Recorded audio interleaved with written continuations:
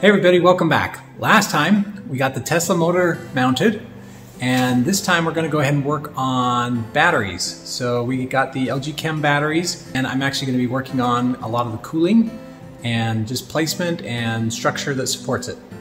So let's get into it. All right, here are the LG Chem batteries, uh, the battery modules. And uh, so there's 16 cells in each module and basically they've got plugs on both ends uh, to measure each cell voltage as well as there are uh, two thermistors uh, for this side and then also two on this side that, that, you can measure. And so that's what they look like. They also have um, a one side that has kind of aluminum for cooling. And so I'm going to be utilizing this side um, put some plates on there. I've got some uh, thermal paste or thermal grease that'll transfer the heat from the, the, battery modules, from the cells, into some aluminum plates. And I've got uh, coolant circulating through those plates. So we'll go ahead and get into how I am going to cool these. All right, so this was the plan. We'll see uh, how it works. I've just got some leftover tubing. I might want to get some different uh, tubing, but just kind of cut it And so the thought is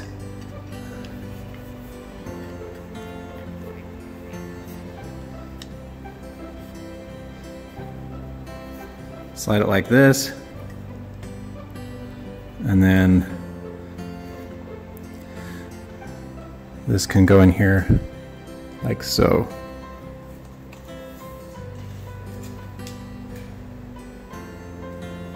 So we'll see how that works. All right, this is the uh, rear cooling plate that I ordered, so we'll just open it.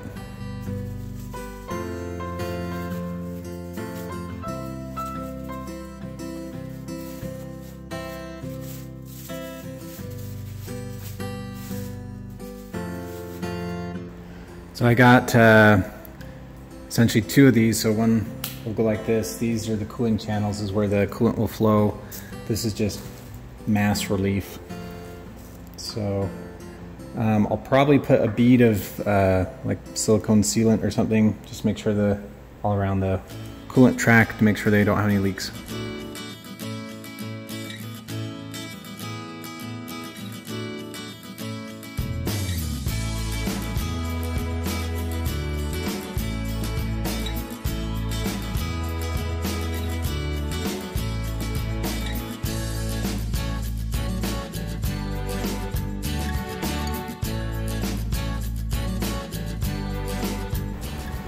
Right, I start. I started with this orange uh, rubber tube, thinking that might be good enough, um, but I got this black one now. It's got a much bigger wall. All right, I uh, put a section of tubing on um, all the way along there, and again, the thought is to have the batteries batteries rest on there, kind of in this slot here. So we'll give it a try and see how it goes. All right, I got this all prepped. Um, I'm gonna go ahead and clean one more time the inside uh, and put a bead of sealant kind of around the fluid track and screw it all together and that'll be good. All right, I think we got this ready. Um, so we'll go ahead and clean off the inside one more time and put a bead of sealant kind of around the fluid track and screw it all together.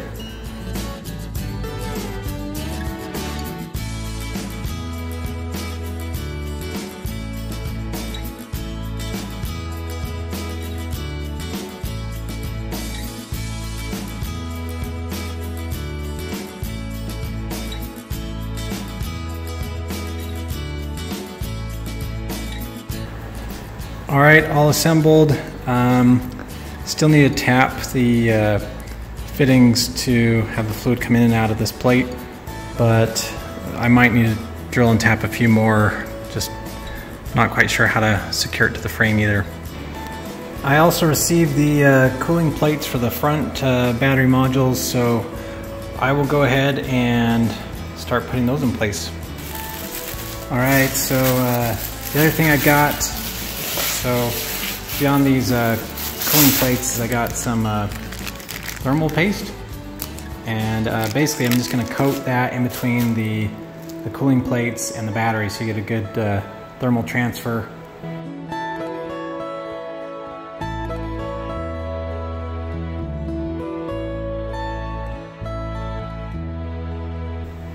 All right, so um, this one's got a little flow control on top so I can kind of meter how much uh, coolant goes through here. So when, when I get it all uh, wired up with the front radiator and going back to the motor and everything, I can kind of dial in um, how much I want through the front battery pack, how much I'll do another one on the rear. Uh, so that way I can kind of control how much cooling is going on. All right, here is the uh, thermal grease. Um, it's got thermal conductivity of 3.17, um, also thermal resistance of less than 0.067. So it should give me pretty good contact between um, everything. So again, I'm going to go ahead and put it on the uh, battery modules in between there and the plates and um, between these and the plates as well.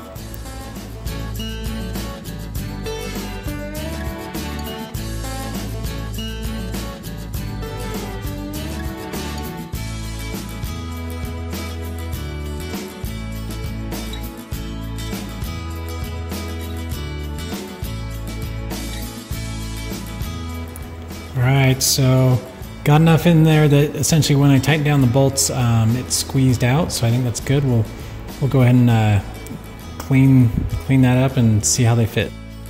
All right, well, I'm gonna have these uh, on the back half, but just thought I'd try and test fit them on the front half. So each one of these plates will go essentially right here. And again, I'll put some thermal paste or uh, in between these two get a good uh, heat transfer. And then the coolant essentially will flow kind of from the radiator um, and then in and out of all these plates. And that will hopefully give the batteries enough cooling.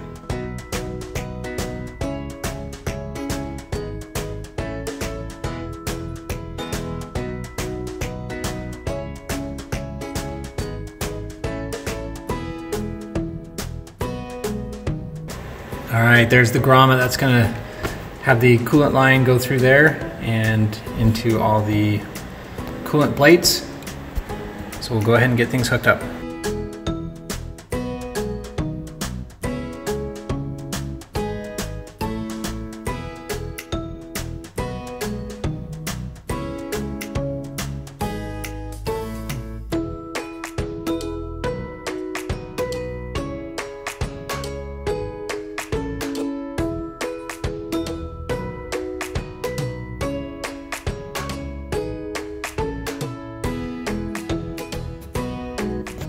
I have the cooling plates in.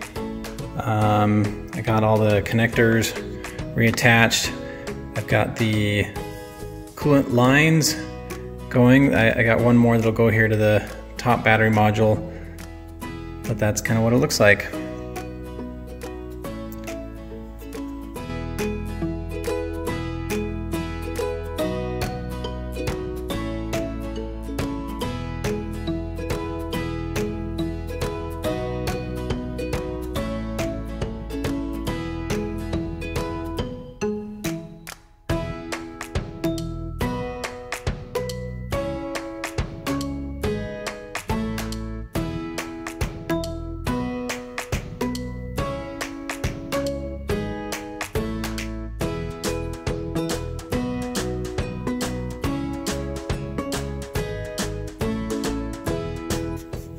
The top battery module is on now.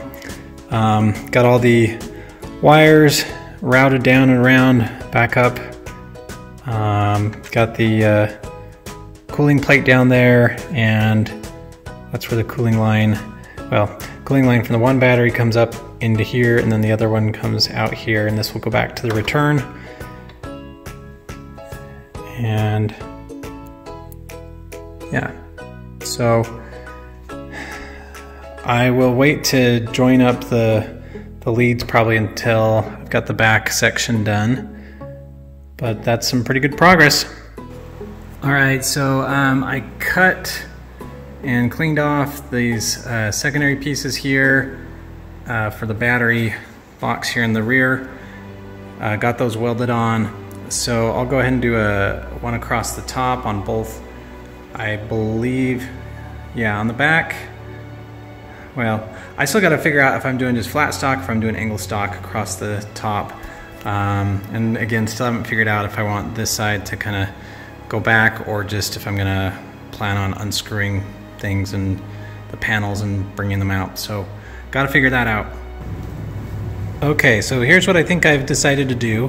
Um, I'm gonna make a top, so essentially something that can fit around all sides.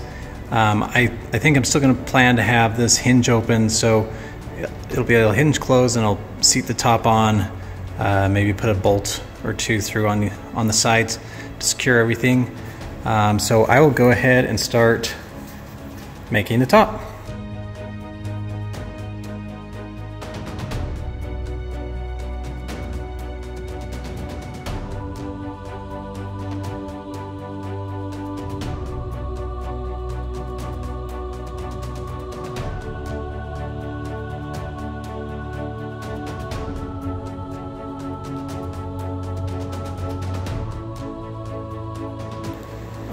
Here they are all cleaned up. Um, I did try the, essentially the angle grinder over there, as well as the belt sander. Um, I tend to like the belt sander. I just feel like I'm able to maneuver the piece a little easier, don't have to clamp it down. Anyway, still able to clean it up. So those are gonna be the two side rails um, for the top. So I just need to get the uh, cross members and then I'll weld them all together. So I cleaned up the steel, I cut uh, a 45 there on both. So I'm gonna, I've got this little clamp, uh, right angle clamp. I'm gonna try and uh, do some, just probably some spot welds, tack welds uh, for the entire frame, make sure it fits, and then I'll weld it all up.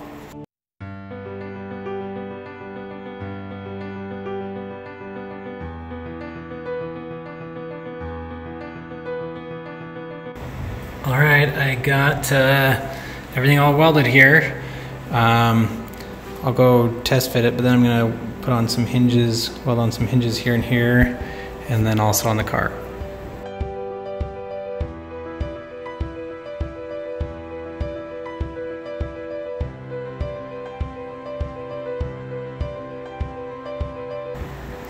Okay, this guy's all welded on. We'll go uh, weld it to the frame. Okay, so I got the uh, hinges welded there and there. Um, so essentially this whole flap can come open. I'll take you around on top. All right, here it is on top. And so essentially this will allow access. I can pull this down. Um, the problem is I can't lift the battery straight up because one's gonna be here, hit this side, or the other one's gonna be here. So this one will allow me to, anyways, enough maneuverability that can come out this way. So let's open. All right, so there it is up. I don't know if I can do this one-handed or not.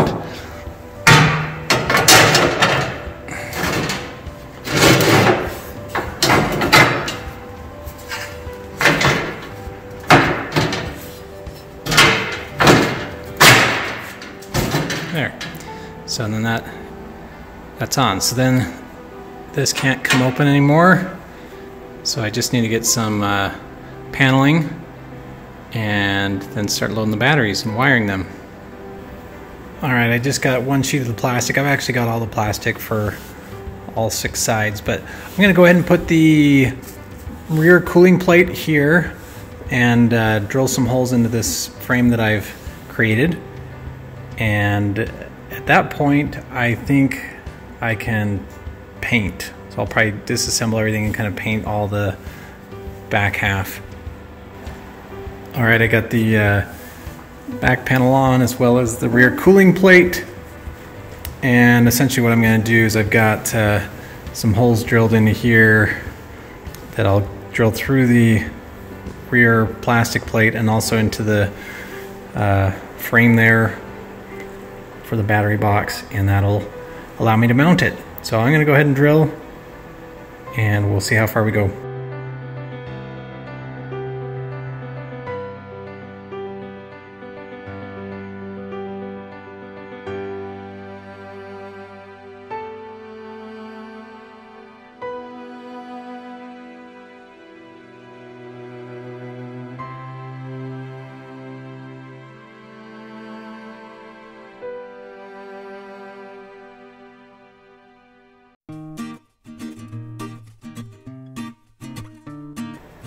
All right, so I've got the uh, cooling plate in.